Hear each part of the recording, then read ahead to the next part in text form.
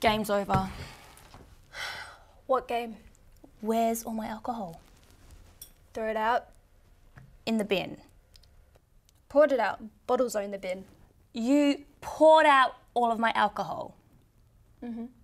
The recycle people don't want any liquids left in the bottles, remember?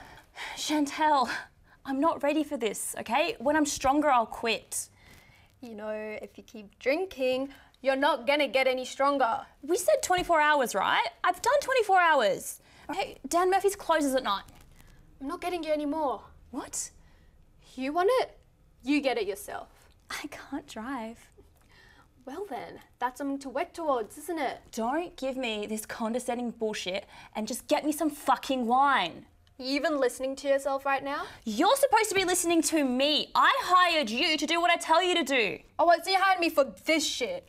Who made you the fucking warden? And who made you queen of the fucking world? You sit around feeling sorry for yourself all day, miserable TV watching dried up old bitch. You know, you can't even go a day without a drink, and you're not even a drunk yet.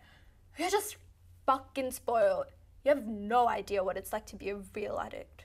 Cocaine is different. Bullshit, what do you know about it? Where are you going?